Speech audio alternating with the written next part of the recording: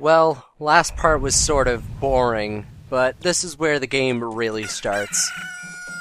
And by really starts, I mean it starts with an extremely convoluted chain of events that you somehow have to figure out in your first time. But, I mean, it's possible. And I don't remember how I figured it out my first time. I probably just. Considering I was so much younger than I am now, I probably just looked up a walkthrough or something. Oh wait, it wasn't even that. I it, I just watched a ton of speedruns before I actually went out and bought the special edition thing on uh, eBay. So, yeah, I already knew basically how to do this beginning part at least.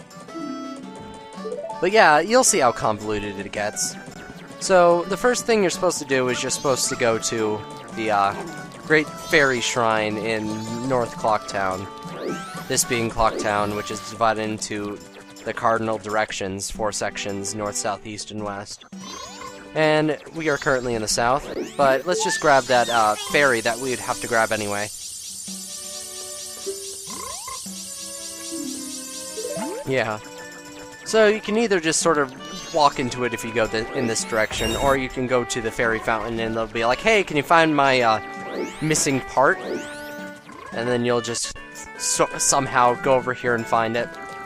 And in the night, you'll find it in East Clocktown, but we'll get to that.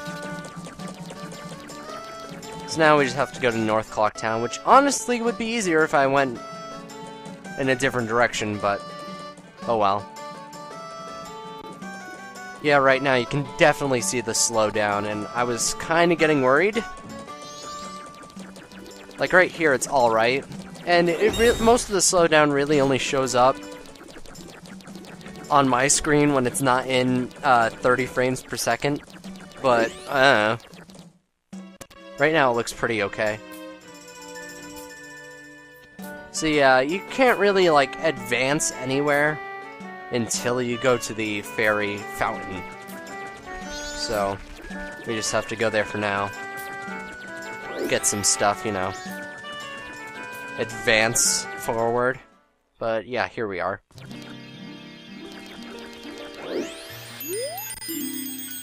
See, you're supposed to get this message before you have that, uh, fairy, this guy, floating in your pocket. Because now we're set.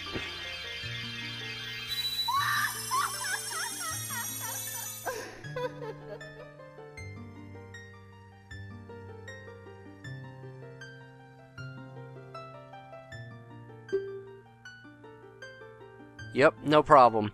Sorta had to, to, uh, go get that mask and our precious item. Just imagine that in uh, red text.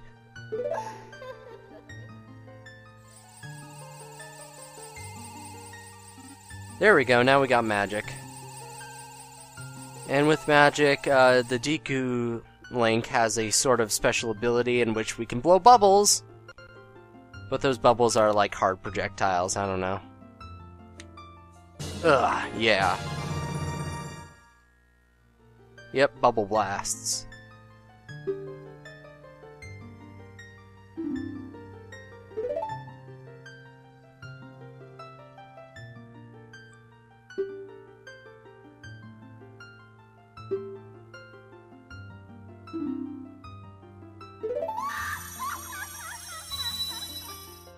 Mean, right there it told you to go to the observatory, and then that sort of leads you to the rest of the events, but I mean, if you're a kid and you're not reading stuff, this is still sort of a really fairly, you know, convoluted. It's slightly less so. I mean, the hardest part is just, hey, look, a man. A man I've seen before in a different game. But, yeah. It still is fairly convoluted, like, just a weird sort of puzzle that sort of gets you ready for the time limit thing, but they give you plenty of time. That is like a good hour or so. The, the three day cycle. So, I mean, it's not bad, but. Oh well. Here's Tingle. He is age 35 and he's dressed in a skin tight fairy suit. You may remember him from the incomplete Wind Waker LP. as the creepy guy who gave us a camera. Well, was hiding a camera in his cell and gave us a Game Boy with his face on it. But yeah, we can buy maps from him. I I had never done this in a different uh in any other save fi file. It just hasn't occurred to me to need it. But I guess I'll do it now, just to make things easier for people to understand where things are. Especially if they're using this as like a sort of walkthrough sort of thing. Do not steal.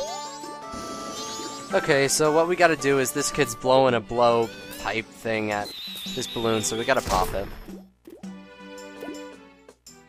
That got his attention. If we tried to talk to him otherwise, he'd say, I'm too busy popping this balloon, come back some other time.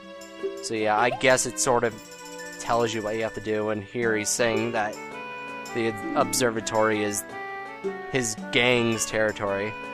But yeah. We gotta play hide and seek. Sound familiar? Yeah. This this game totally stole this from Wind Waker. Oh, we got plenty of time. That is like a good 20 minutes. Well, slightly less so now, but still. So now we just gotta go find them, which is um, pretty easy. I mean, I'm just an idiot, and I haven't played this game for a while, so I kind of forgot where some of them were. I know where three of them are. Luckily, the two that I forget are in the same, like, sectors of town. Oh, I want to see some... Oh, never mind.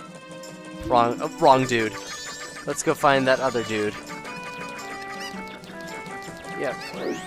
So another dude's up on a ledge that we can't get to unless we use this Deku flower thing over here to propel ourselves into the air. And here he is. You want to see some bullshit?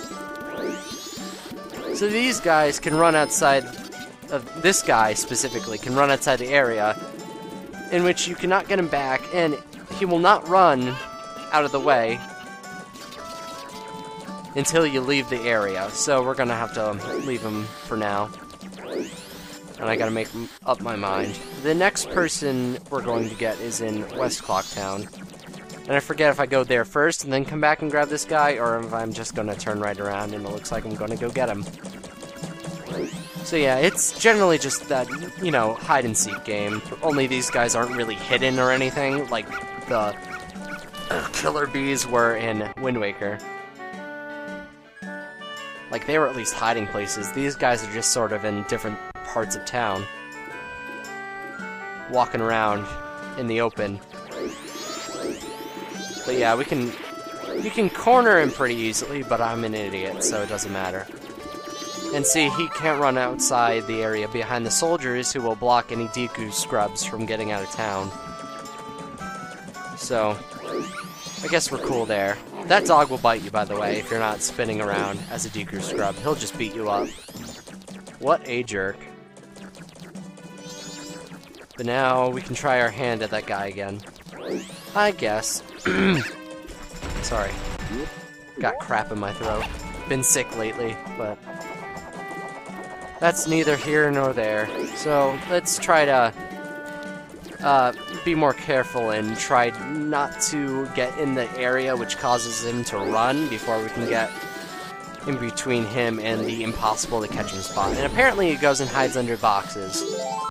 So that's kind of cool. If you're not looking, you might not notice that that box is slightly tilted, but it's fine. And here's a little shortcut. If we go up this way, we can get to North Clocktown easier. And this is the way you should go if you're going from West Clocktown to North Clocktown, but some people forget. Me later. So there's a dude behind here. Uh, the leader is actually hiding, which is nice. Ah, slow down. Okay, so all the uh, bombers come over there when you catch them, and leave the area and catch them. So, oh, where's the last guy? He must be in Sl South Clocktown, right? Nope, he's in North Clocktown. And you can see how long it took for me to come back here. But yeah, he was hiding behind that tree. I'm just a real idiot. Like, for real, but... But we're just gonna have some casual racism here. And this is implying that after you become a human again, you gotta do that whole mini game over. Which, of course, we will be, but we'll get to that when we get to that. But this code never changes at the start of each save file. So you can write it down and never actually get the Bomber's Notebook. But, I mean, why not get the Bomber's Notebook? It's a really easy game, and they always hide in the same place.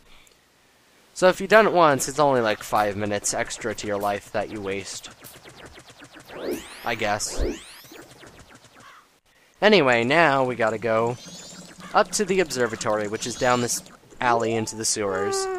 I guess. I don't know. It's the only way to the observatory, too, which is weird. As you'll see when we actually get down there.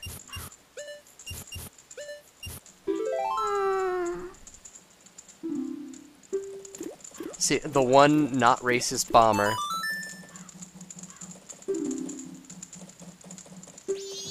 Yep. Anyway, so if we go down here, we go down a huge, and there's a ton of water here. And now you can see it. There's a ton of water here. And I guess the dude that's in the observatory just sort of lives here? Like, in here? I don't know. Anyway, there's a Skulltula that we can just walk around, so it's no real big threat. But if we were to face it, we could use our bubbles, which is nice. Hey, it's another balloon to pop. And I, I believe you have to pop that to get up the ladder. I mean, I don't see why else it would be there. Anyway, now we're in the observatory. And I swear to God, the only way to get in here is through that, like, secret passageway, so I don't even know why it's built. There's a door there, but it leads to a fenced-in area. So, I don't know, this is a train of thought that we can abort right now. See, everyone's just racist. Against, like, these, what are they, Deku scrubs, yeah. I don't even know.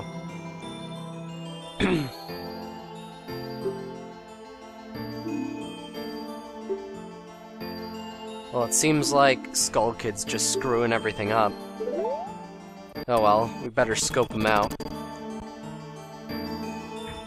Which is pretty easy. He's just up there.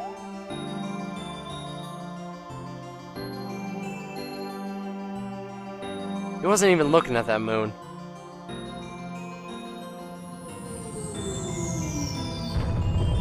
Even creepy moons can cry. Well, that's just rude. Oh, now he's gone. Okay. Whatever.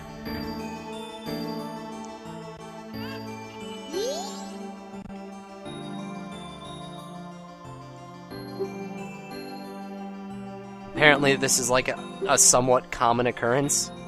The moon just cries. I don't know. I mean, most moons don't have a face, so I guess in Termina it's cool. So now we can go through that door. And just walk over.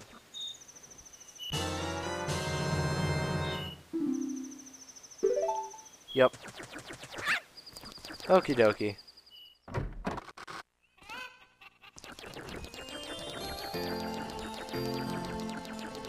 Well, what what will we do with this moon tear, You might be asking.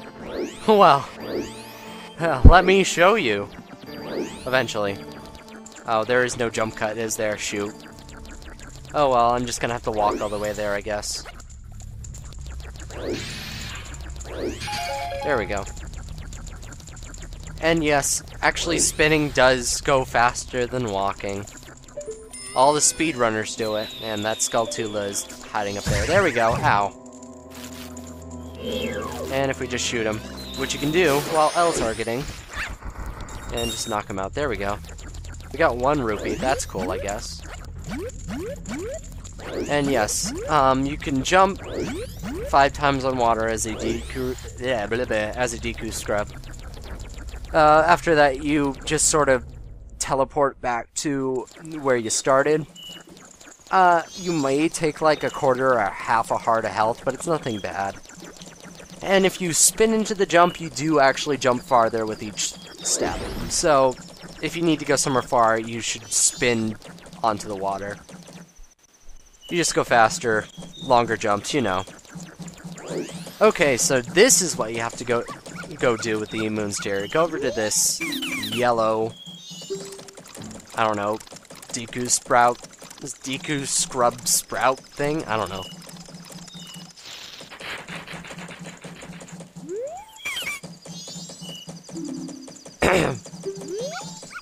they, ow.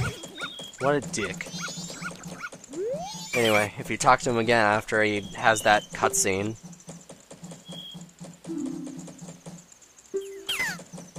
Yep.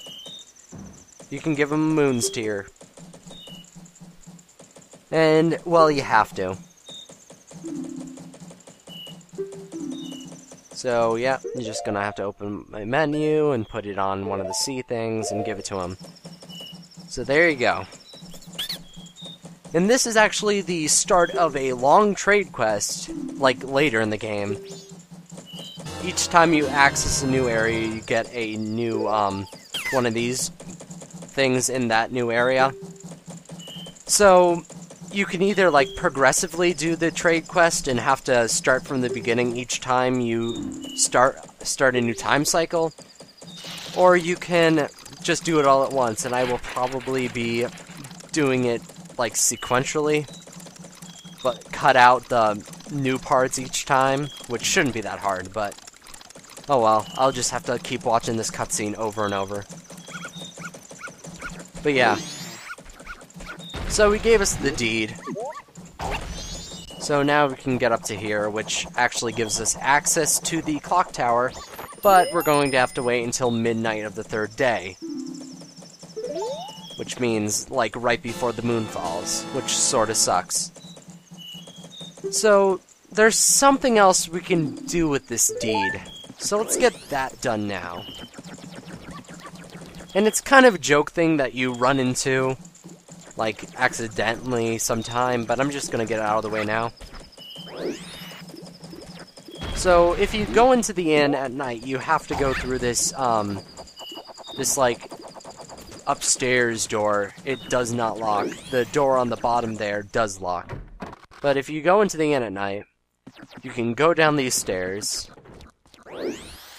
and around them, and go into the bathroom, in which you will find a hand. And if you talk to the hand, he needs some paper, so you can give him the deed, and he will be very thankful. Yay! Yay! This is my favorite dude. I we saved him. I don't know, someone ah. I guess he needed some, like he ran out of a roll of toilet paper or something. But yeah, we get a piece of heart. And we never see him again. Well, actually, we'll see him again if we start the time cycle over again. So we might visit him again sometime, but eh, there's nothing else we get from him. So it's kind of unfortunate. Okay, so one glitch you can do I'm just showing off this glitch because I need to get to West Clock Town. If you can turn yourself exactly, like, backwards from the guard, like that, and actually go to the other side, you can actually clip through his spear and get out. So this is how you can get out during the uh, first three-day cycle before you turn human. But it's kind of useless and boring, so we'll cut it out, and I'll see you next time.